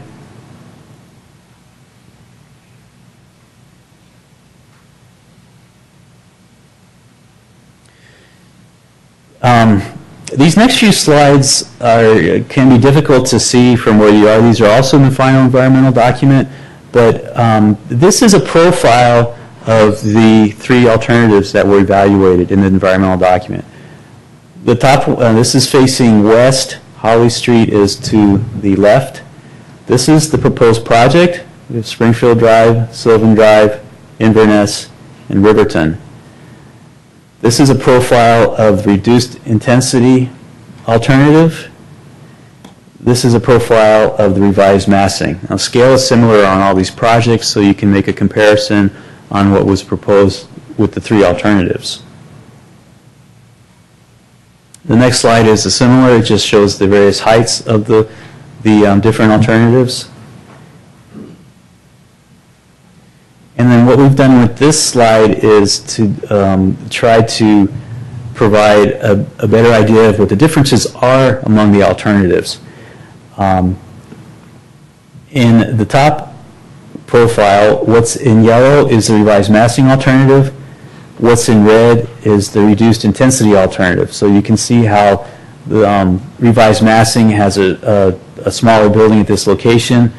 With the reduced intensity alternative, you know, you're, you're getting closer to, um, you, you have a, a reduced separation between the buildings. This middle uh, figure shows the revised massing alternative, again in yellow, with the proposed project. The proposed project here is, is shown uh, in transparency. So you can see that the proposed project is much higher at locations. Um, The buildings number two and building number three are larger, and um, building number one is much higher under the proposed project.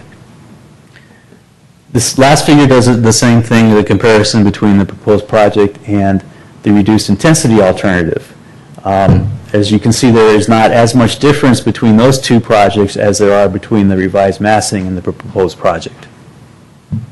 And again, these figures are in the environmental document. Um, They're probably clearer if you can and see them in front of you rather than uh, that distance from, from the projector. They're actually pretty good from up here. Okay, good. Um, As I said earlier, uh, we've got uh, folks here to talk about some of the other impacts associated with the project. I just want to make a conclusion that um, the the environmental document determined that there would be no impact, there- there- there's three alternatives we can come up with with our um, our thresholds. No impact, less than significant, uh, significant. If we determine that the impact would be significant, CEQA requires us to propose mitigation measures. If we can demonstrate the mitigation measure would reduce that level of impact to less than significant, with adoption of mitigation measures, that's designated in the environmental document. If we, um, if implementation of the mitigation measure would not reduce the impact to less than significant, then it's deemed significant unavoidable. For the purpose of this analysis, we looked at there would be potentially significant and significant impacts to the following items on the list there. However, in all cases, we found that there was feasible mitigation measures to reduce those impacts to a level of less than significant. So approval and construction of the project would not lead to any significant unavoidable impacts per the thresholds and the um, levels, or the um, thresholds of significance that were used in the environmental document. Okay. Questions? Mark? Thank you, Mr. Mayor. Um, Actually, let me start with one right off your, your last slide there. Can you remind me, what was the visual quality significant or potentially significant impact that you identified that could be mitigated? We actually did not designate any significant impacts with visual quality. All of them were deemed to be less than significant, so there are no mitigation measures associated with the project uh, regarding visual impacts. Okay, wait a minute, I'm confused, then why is visual quality listed up there?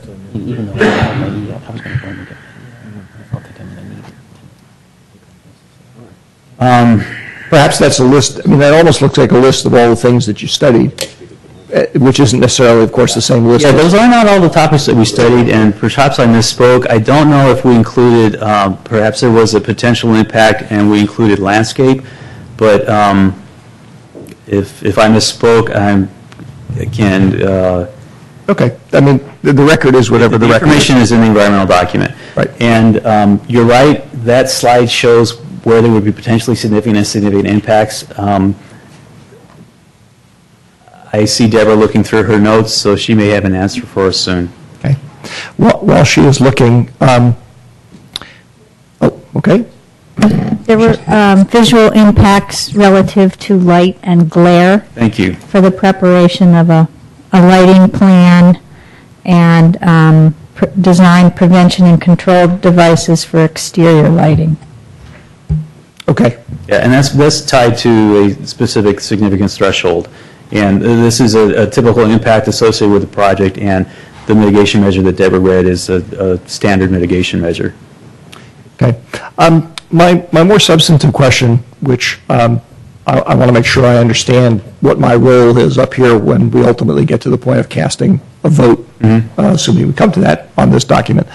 Um, My understanding is that essentially, when a council member casts a vote saying, yes, I ratify or approve this EIR, that effectively what I'm doing is I'm saying, to a sufficient degree that meets whatever criteria I think is appropriate, I am concurring with the conclusions and the methodology and approaches that uh, uh, Atkins used in preparing the study, correct? That's correct.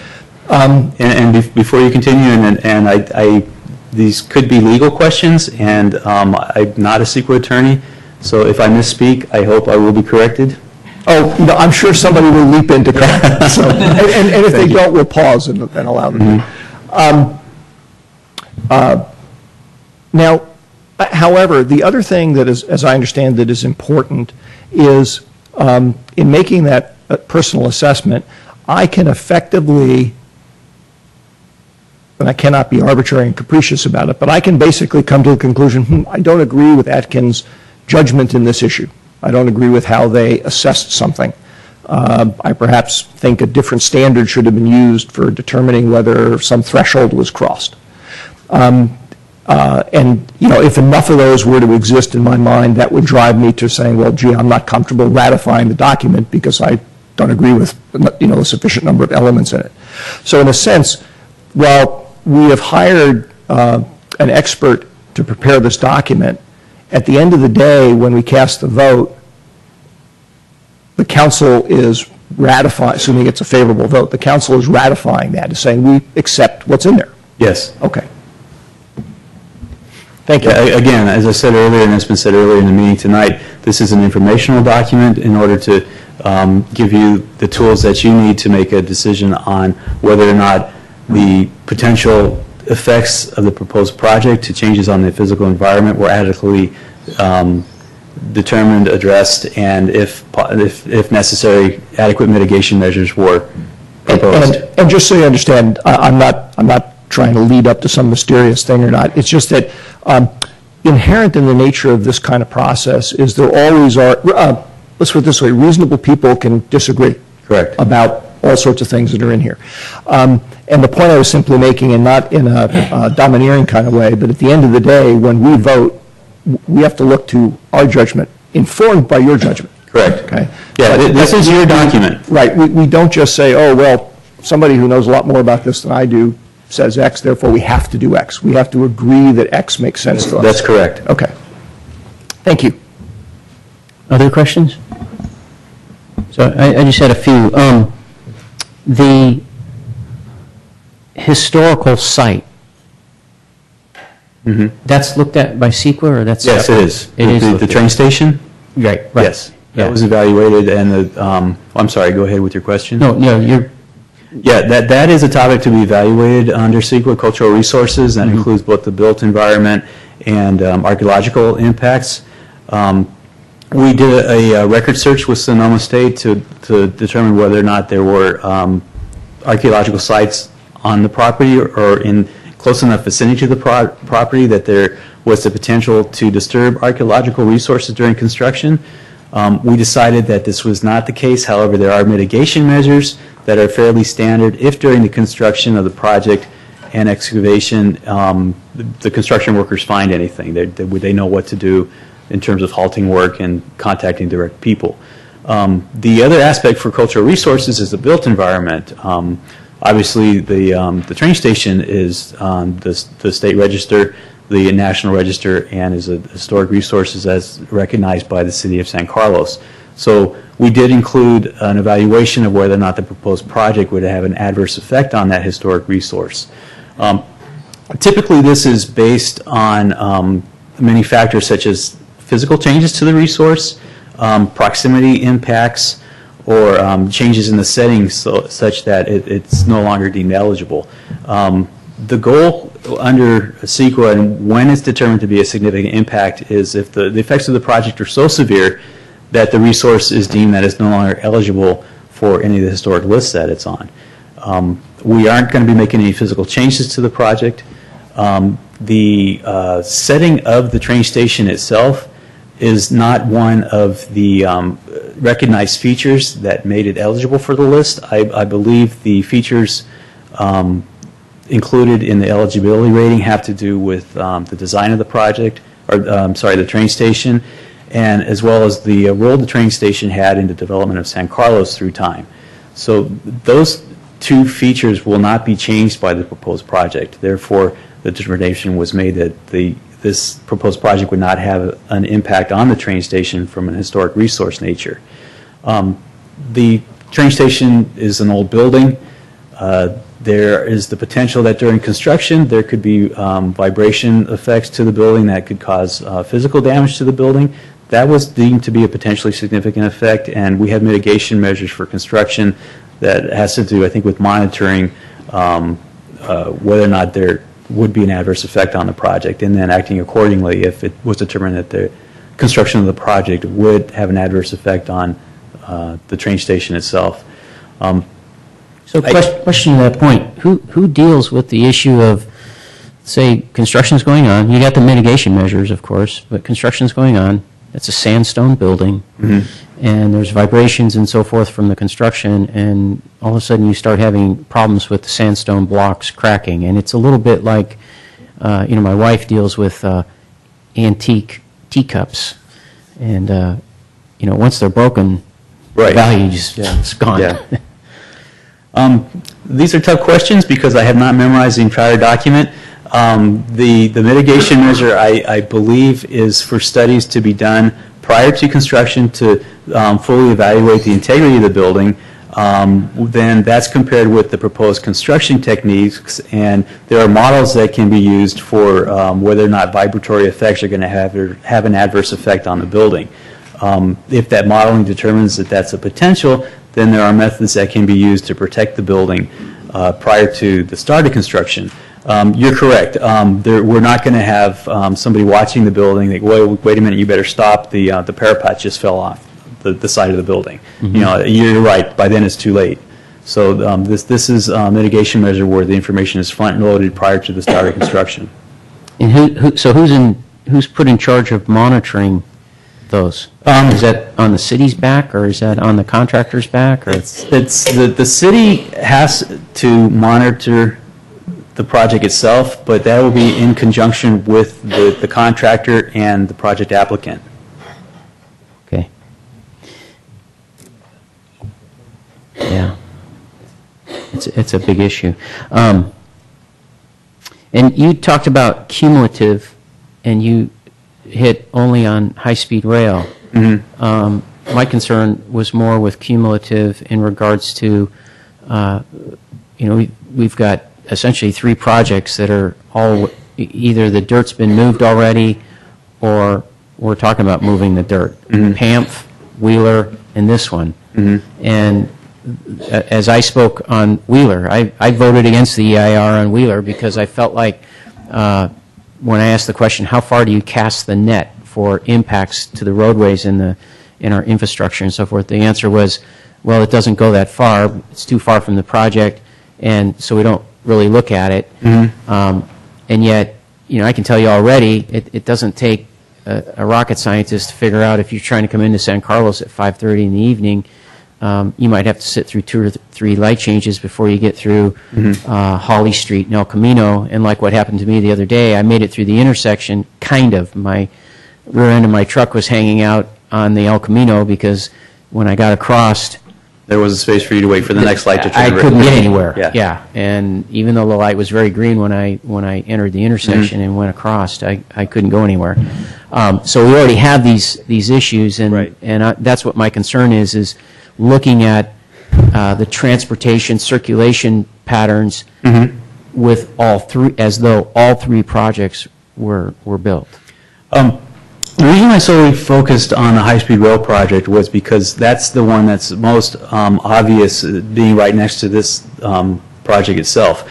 But um, the cumulative analysis is is very um, uh, related to specific topics. You mentioned uh, traffic, and uh, Gary Black from Hexagon will speak to this when he gives his presentation, but um, the cumulative traffic analysis includes all projects that are currently under construction, as well as, I believe, the build-out of the um, San Carlos general plan. So uh, traffic in particular does um, do a a thorough evaluation of the cumulative uh, effects of the proposed project. Um, the- A number of study intersections were selected in consultation with the city on which of the intersections we might, thought might be most affected by the proposed project. So those were evaluated, those were first looked at um, for how they operate under existing conditions, then evaluated for how they would operate with the proposed project, and finally evaluated for how they would operate under the proposed project, plus the cumulative scenario that I explained.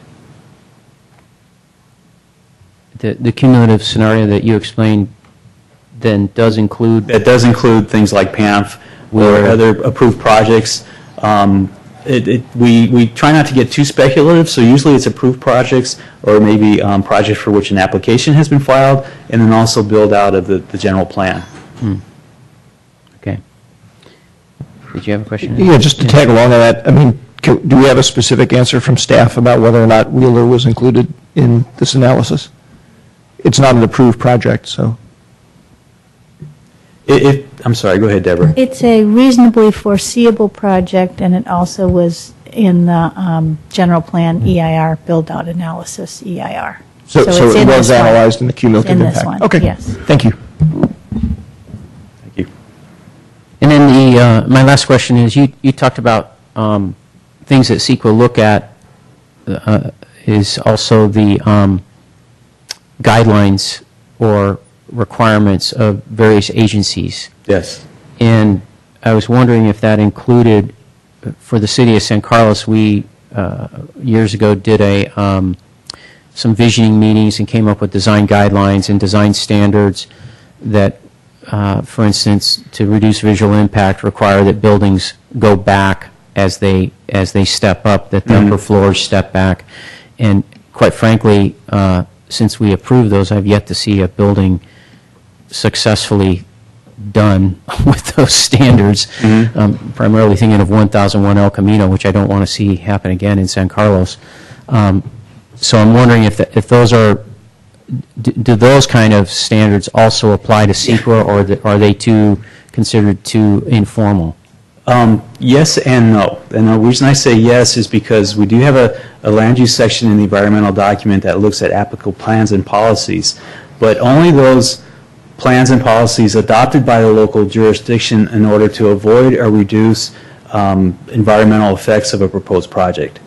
So we, we, there is a table in the environmental document that includes all the policies that the city has adopted um, to, um, to protect the environment, and then we've got a a designation on whether or not the proposed project uh, is in compliance with those policies.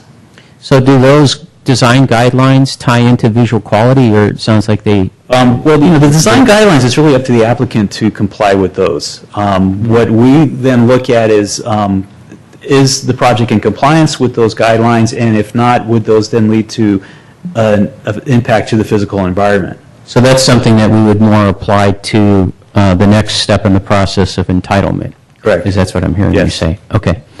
All right. Thank you very much. You've been uh, very thorough. Appreciate it. Now, we've got uh, uh, Mr. Mulpey. We- We've got a a short time here that we might be able to take a break, and then we've got, um, we haven't gotten to Gary Black and so forth, so we'll do that after we have our 218 hearing and so That- forth? That's correct, Mr. Mayor, and I would like to ask the city attorney to sort of weigh in here to properly segue us from one meeting to the next. To the other, okay, weigh in. Okay, well, uh, Mr. Mayor, council members, uh, we've, we intentionally noticed this meeting um, in, uh, in duplicate, if you will. We have the public hearing set at 5 o'clock on this special meeting agenda that we're just wrapping up right now. And we also put the exact identical notice of a public hearing in the regular agenda.